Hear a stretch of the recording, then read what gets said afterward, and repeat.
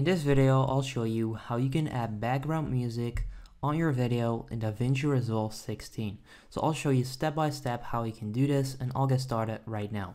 So I started off by opening a clip in my timeline. Now next up, I want to add music, right? So for that, you want to click on File and then click on Import File and then Import Media.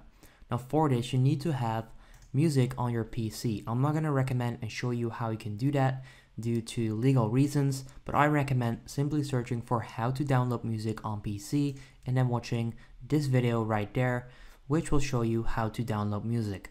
Now next up, once you're in DaVinci Resolve, you want to find that song. So I'm just going to go to music, I'm going to open up my music, and then I'm going to add this background song right here.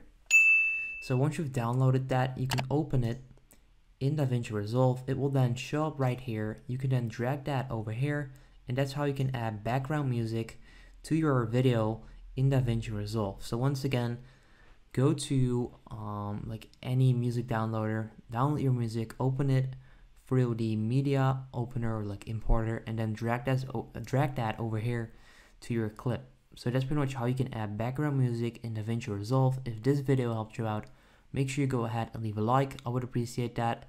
Let me know in the comments down below if it works or if you have any questions. I'll try and get back to you and then I'll see you in the next video. Have a good day.